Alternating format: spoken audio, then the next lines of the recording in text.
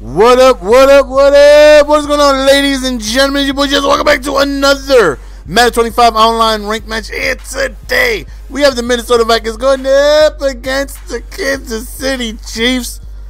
And as you see in the title, Super Custom, this young gentleman right here had one of the most frustrating customs I've ever played this year.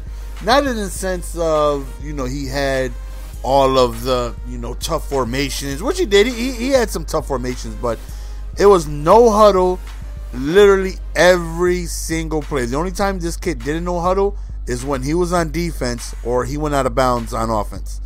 Nothing but no huddle, and it's extremely frustrating. And he's, and he's switching up from shotgun to under center to screens to pistol to uh, wide receiver screens and excuse me he had a very frustrating off what made it frustrating was the fact that it was continuous no huddle and here i am stuck in one defensive play you no um, he actually ran um, custom on both sides of the ball i mean our defense that helps him 0% because i don't know huddle like ever so that's not really to help him out. But uh, makes me want to get accustomed. You know, in case I run into somebody who just know how to know how to know how to know how to know how to. First time I can honestly say I went up against that this year, where it's no huddle every single play. Definitely a very frustrating thing to go on ahead and go up against. Right there, we convert on a huge third down. So, I mean, no surprise what it is we want to do. We want to give the ball to AP, but as we know, the Chiefs are very, very well um, run stopping team. So uh, I am looking at to uh, you know run into a couple of brick walls every now and then. Right, we hit him with the read option. Look at Ponder taking it all the way to the end zone. One time for your boy. And right there, we end up tying up the game. So here we go back on defense. And I already knew um, that I was in for a long game. You know what I mean? Just with the sheer fact that he he has such an in-your-face, non-stop, continue to no huddle offense and it was it was definitely definitely frustrating. And you know, I'm just trying to gather in as much information as I can. You know what I mean? He's giving me so many different looks that I don't really know, you know, what he likes to go to and what formations because he's continuously, you know, switching formation, switching formation, switching formation, switching plays. So um, right now, man, like I said, uh, the first couple of drives, I'll go on ahead and you know give him that. You know, I'm just trying to you know, absorb as much information as I can. Try to remember what he likes to do in what situation. Try to remember, you know, what are his go-to routes, what are his first and second reads. So, you know, I'm just trying to feel like, okay, a little later on in the game, I'm just gonna need one mistake. You know, I definitely feel confident on offense. You know, uh, his defense that first drive really didn't give me too much of an issue, and um, I definitely feel like you know with Adrian Peterson uh, I'm gonna be able to run on anybody. You know, that's just how dominant of a player he just is. So, all right, we'll continue to run the ball. Whoop! Catch him with the screen. Cut your napping. And right there, look that we can go. Who the hell is that, man? How, oh, Saidi. Oh, who the hell is that though? How they catch up to Adrian all day Peterson though, man?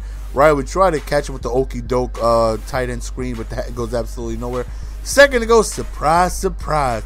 We go back to Adrian Peterson for another offensive touchdown. Right now, we tie the game 14 14. Like I said, man, all I'm trying to do is just hope for a mistake, man. Try and pay attention to what he's doing. Try to key in on his routes. And what I did notice is that when he was in split back, he kind of liked to go to the angle route. Um, and I definitely paid attention to that. So, second and 10, right? He backs him. And there it is. Don't test the user. He is so disrespectful. Somebody, please Give that gentleman a link to my channel. Let him know. Do not throw the ball my way. Like I said, all I was trying to do is retain information. And I did notice when he wasn't at split back that he had Jamaal Charles on an angle route. And we absolutely pounced on that like a lion on a gazelle. And we uh, we actually get the interception, which was big. So right now I feel good. I feel confident. I feel smooth. 21-14. We do get ball at halftime. So, uh, you know, feel good. You know, I'm hoping for at least one more possession.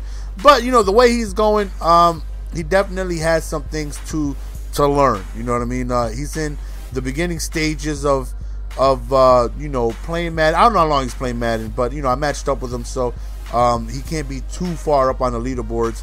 But um, I, I can tell that he's making you know rookie-ish mistakes. Like one thing he's doing is that right now is a great opportunity since I get ball at halftime to kill some clock. he's still no huddling down my throat, and that's there's no reason to do that. All you're doing is giving me an opportunity to possibly get another possession, and you don't want that. You want to keep the ball away from me, take your time, but he's still no huddle, no huddle, no huddle, no huddle, no huddle. And if he does score, it works in my favor if he actually gives me some time. So right there would have been an excellent opportunity to, you know, pause the no huddle, take your time, get down the field, you know, and score a touchdown, trying to leave me as little to no time as, uh, as possible. But uh, he ends up scoring, leaving me about 40 seconds with uh, three timeouts. And uh, so right now, I feel like okay, if we get a field goal range, we do have Walsh as a kicker. He has a you know phenomenal leg. So um, all we need is really a couple of first downs. We are in range. Right there, I came out of uh, four wide. I tried a um, a stretch play that went absolutely nowhere. So unfortunately, we didn't uh, capitalize on us having you know three timeouts with little under a minute remaining. So uh, we do go into halftime, like I said, with the tie game. So you know, I, I, feel confident, you know, that we can go ahead and regain the lead. You know, instead of me playing from behind, now it's him playing from behind. So uh, that right there can actually change a whole lot of things. I've seen players do great. You know what I mean? They make one mistake, they're behind, and then they just melt down. You know what I mean? Some people just play from behind a little differently. And I'm hoping that's the case with this guy if I'm actually able to rekindle the lead. So right here, man, we just run with AP, get ourselves the first down, and uh, he had a phenomenal game. Phenomenal game. And, you know, was I expecting AP to have a, a, a great game? Eh, you know, I was expecting him to have a good game. A great game, yeah, I wasn't sure because the Chiefs have, a, like I said, a very good run defense. Man, they hit hard.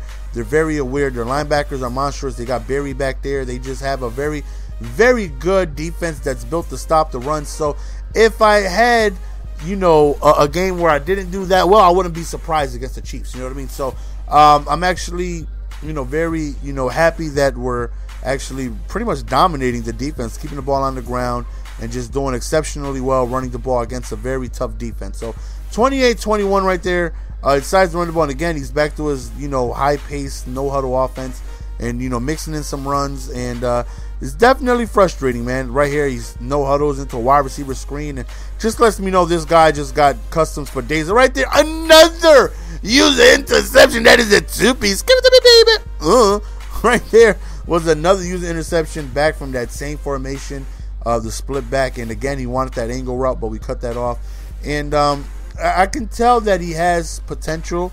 You know what I mean? He just needs to limit his uh, his his errors. His problem is with you continuously no huddling, no huddling, no huddling. Somebody like me, like my defense is ass. but the one, woo, that right there was a nasty back juke. That was a big whoop. one thing that um, I do pretty good on defense is uh, trying to remember what it is you're doing. Just try to make uh, adjustments. Even though if you guys watched last video, I got destroyed by the same damn trail route. but um, you know, I, I, try to just remember what it is you're doing. I'm not going to be able to stop you on what it is you're doing. We all know that my defense is ass, but I just try to, you know, remember what it is you're doing. You know, try to pay attention. And and he showed his entire offense like in one drive. You know, that is one thing I really don't like to do. Like I will sit in strong power all game if you allow me to, because you know there's no reason to go into you know deeper in the playbook if I don't have to. You know what I mean? So yeah, I got different runs for third and five, different passes for fourth and two, and you know what I mean. Even though I don't, I punt on fourth down, but you guys know what I mean. um, you know, I try to reserve as much as my playbook as possible. I want to show you as little as possible. So if I could just show you one play, that's great. You know what I mean? If I can continue having success with that one play, I'll run that one play. You know what I mean? My goal is to try and show you as little as my offense as possible and um, I felt like his problem was he showed me everything.